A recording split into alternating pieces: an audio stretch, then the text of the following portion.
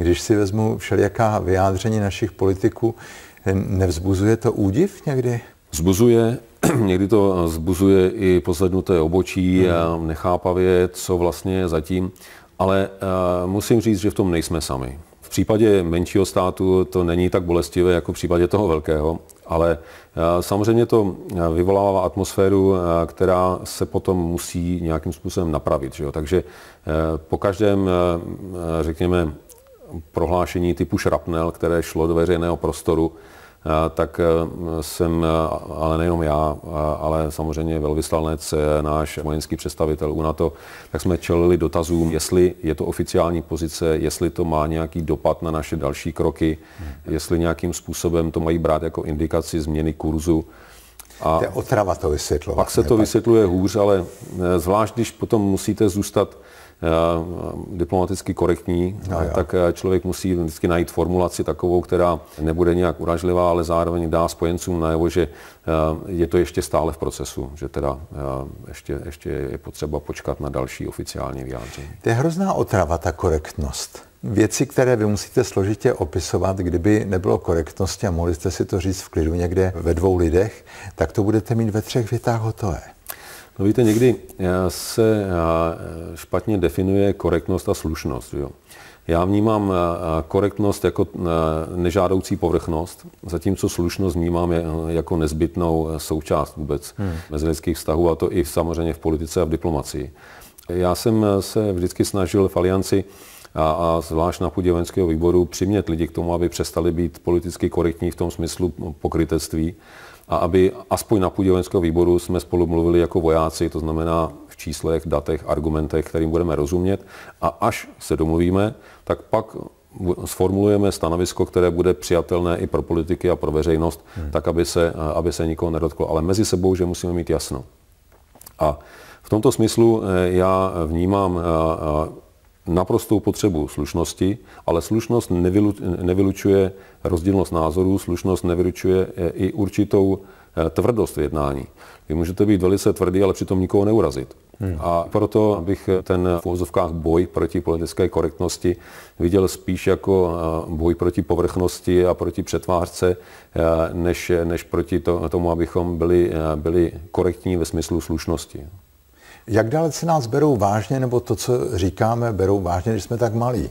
My máme malost často jako omluvu. Eh, protože eh, na té mezinárodní scéně se to moc nebere tak eh, malá, velká země. Protože může být malá země, ale přitom velká myšlenkou a hmm. velká přístupem.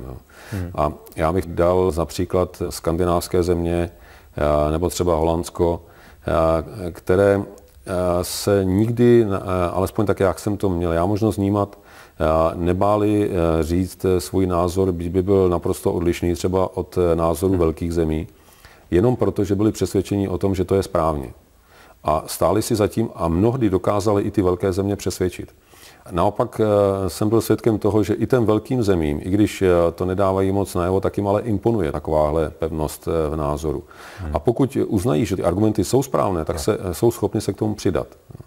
A Myslím, že eh, argumentovat eh, tím, že eh, jsme malí a tím pádem vlastně nemáme na nic vliv a měli bychom počkat, až co ti velcí řeknou a pak se tedy k tomu nějakým způsobem hmm. postavíme a přidáme, tak že je tak trochu alibismus a že bychom se z toho už mohli vymanit a spíš se inspirovat u těch menších, ale svěvědomých zemí v Evropě, hmm. než nadále žít tady v tom našem národním, národním zvyku, že tedy Eh, jsme malí, bezvýznamní a tak ani vlastně nemá smysl, abychom se hmm. moc o něco snažili, protože ti velcí to udělají za nás. Hmm.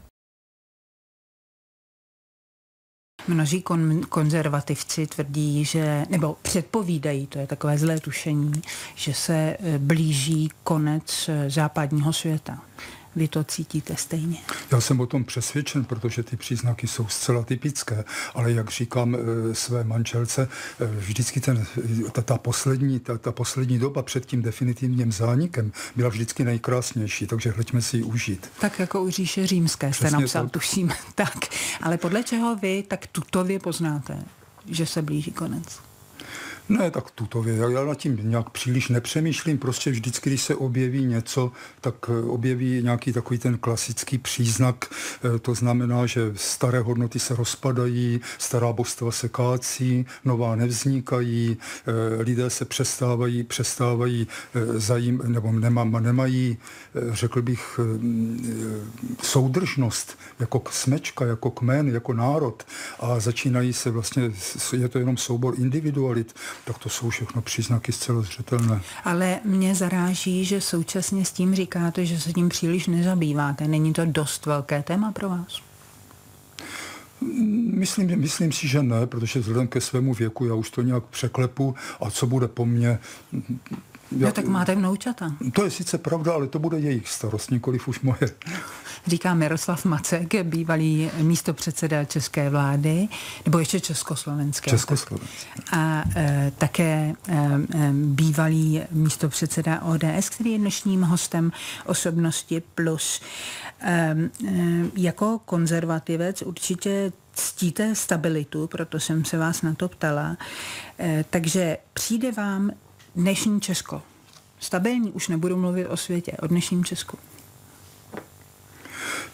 Určitě ano, protože z toho konzervativního hlediska se vlastně nic moc, nic moc nemění, protože stále si občané tady namlouvají, že všechno, co se děje, že za to si můžeme tady vlastní politikové a vlastní politici a neuvědomují si, že už několik set let je to tak, že jsme vždycky jenom tím malým zrníčkem v zájmu velmocí a v jejich mocenských vektorech a podle toho tady žijeme buď tak či onak.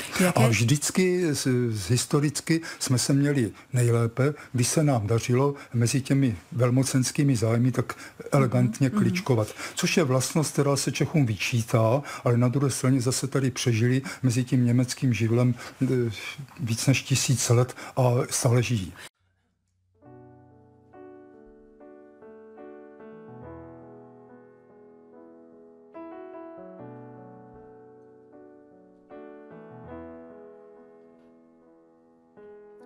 Pověz mi pravdu o vodě, Pověz mi, co se ti hlavou honí, proč je to s pravdou tak na vodě, už od předloni.